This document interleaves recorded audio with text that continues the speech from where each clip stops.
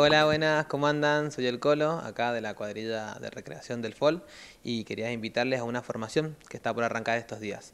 Arranca el 3 de abril el grupo 1 y el grupo 2 el sábado 6 de abril. Eh, los miércoles eh, va a ser de 7 a 9 de la tarde y los sábados va a ser de 10 y media a 12 y media de la mañana. ¿sí?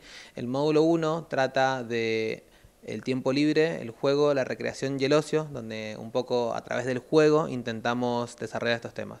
Hablamos de algunos pensadores, pero la idea es pasarlo por el cuerpo.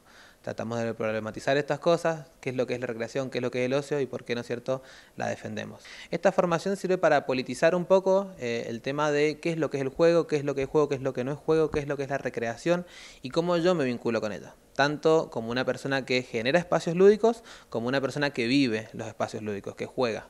Eh, lo que buscamos es eso, y poder generar, eh, más allá de todas estas reflexiones, nuevos espacios donde podamos intervenir con el juego.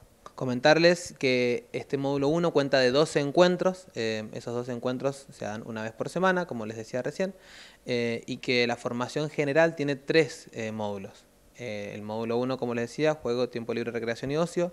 El segundo es em, coordinación de grupos y educación popular, y el tercero es creación de proyectos lúdicos, para poder llevar, ¿no es cierto?, estas ideas que trabajamos ampliamente a la práctica concreta. Viernes y sábado vamos a estar solo haciendo el módulo 1. Eh, este es nuestro tercer año de la formación, ya se ha hecho un módulo 2 el segundo semestre del año pasado y la idea es que este 2024 podamos realizar nuevamente el módulo 2. Pero bueno, para eso necesitamos compas que hayan hecho el módulo 1.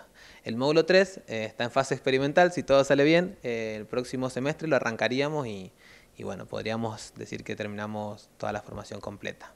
Más allá de los módulos, vamos a estar haciendo talleres aislados sobre temas puntuales relacionados con el juego, ¿no?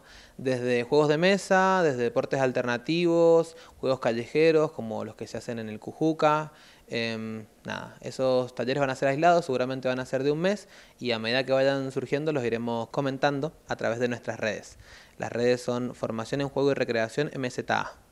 Eh, es un espacio abierto para personas que quieran intervenir en espacios lúdicos em, para mayores de edad, eh, pero no hay ninguna restricción de ningún tipo, no hay que tener ninguna formación previa. La idea es que tengamos ganas de venir a jugar, compartir un rato y problematizar esto que les compartí. Se realiza en la casita colectiva Patricias Mendocinas 827, acá de San José Guaymallén. Y para poder inscribirse al taller lo que pueden hacer es meterse a nuestras redes eh, por Instagram o hablarnos por WhatsApp eh, a los números que están en los flyers y pueden pedirnos el link para completar el Google Forms, que a través de eso ya quedan inscriptos. Es con un aporte voluntario, no excluyente, así que nada, eh, les esperamos.